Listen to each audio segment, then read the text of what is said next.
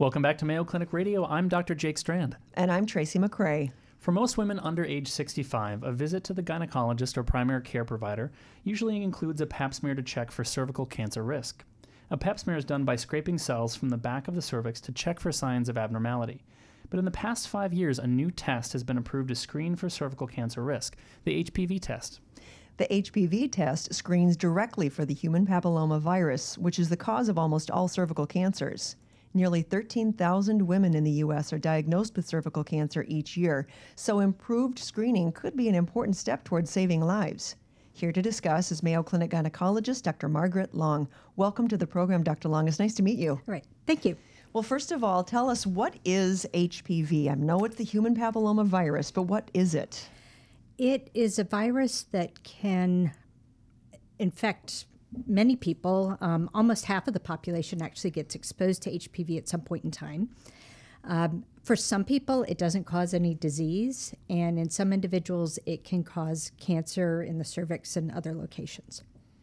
And and one of the things that has certainly come up about, I think, a lot in the media, there's been vaccinations aimed at HPV, right. and we'll talk about that as well as testing. So, how, when we think about the HPV test specifically, how is that different from a normal procedure like a pap smear? Okay.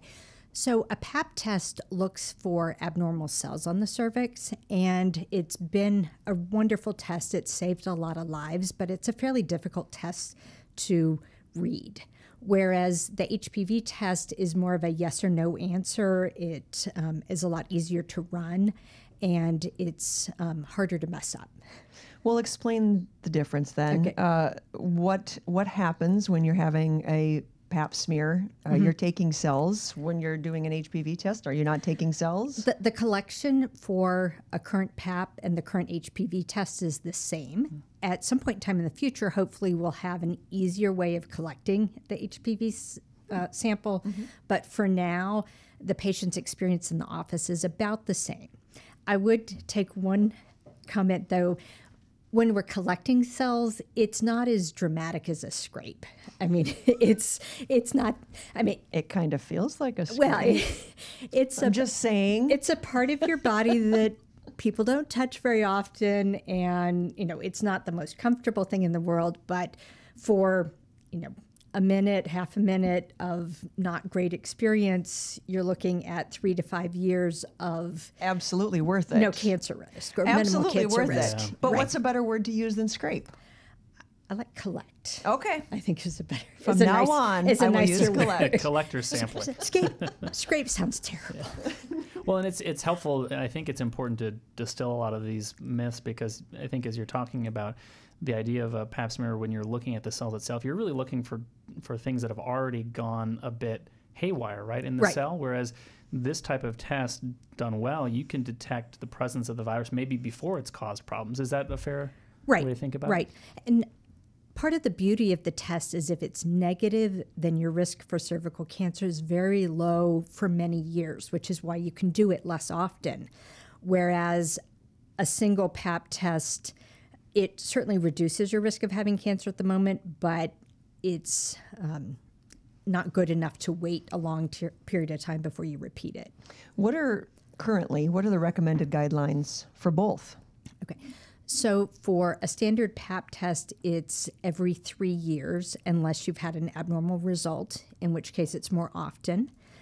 For the HPV test only, it's every three years. Once you've gotten to be age 30, and for um, women who are above 30 that can have the HPV test and the PAP test together um, every five years. It's kind of confusing. It is because if the pap it, it if is. the pap smear and the HPV test both every three years, have these not been done at the same time to this point anyway? Uh, some providers have been doing both of them, and that's been our practice here at the clinic for mm-hmm. a while. And do you, when you think about um, who should get which one, eh, you know, are there different recommendations from society? So you mentioned sort of our policy here at the clinic, sort of other places. Does that vary a bit? So young women have HPV very frequently, and a lot of them will get rid of the HPV virus or at least keep it quiet enough so it doesn't show up on the test. And so, um, we don't do HPV testing for young women because a lot of them are going to have the virus and their chance of having cancer is really, really low. But in older women, if they have the HPV virus, then their cancer risk is higher. You said it, the HPV might not be present enough, strong enough, what to show up as. Right. What is happening there? Is it going away? Is it like a regular virus that your body has it, but then you get better and you don't have the cold virus anymore? I think of it a lot like um, varicella or chickenpox, that children will get chickenpox called varicella when they're young. They'll get over their acute disease. And then when they're 70, they'll have shingles. And so HPV probably acts like that too, where you get an infection. Most women will clear that infection and hopefully it will stay quiet forever or go away. But for some women, um, they can't suppress it, they can't um, beat the virus down, and so they're more likely to have problems from it. And so that's why you need to keep having your pap smears or sh- cervical Right. exams. All right. So, what are those guidelines? When can you stop having the pap smear? So, right now, the recommendation is age 65 for women who have not had abnormal cells on their cervix before that required treatment. So, if at, let's say 10 years ago, at age 55, a woman had a biopsy that showed some severely abnormal cells in her cervix, she would need to be screened for 20 years. So, you don't want to stop at 65. But if you've had your cervical cancer screening for decades, it's always been normal. Continuing beyond age 65 is not helpful. Okay, and and I think you brought up a great analogy about the varicella and the. The, the, the shingles in which you know we have a shingles vaccine Right. we also have a vaccine for hpv which Right. becomes really important to do that beforehand Right. before people are coming to contact so i'm glad right. you brought up that right. that Yes. I mean, it, it's better to prevent the HPV in the Yeah. first place rather than keeping track of it later. yeah well we've been talking about pap smears and hpv tests with mayo clinic gynecologist dr margaret long Thanks so much for joining us, Dr. Long. Thank you.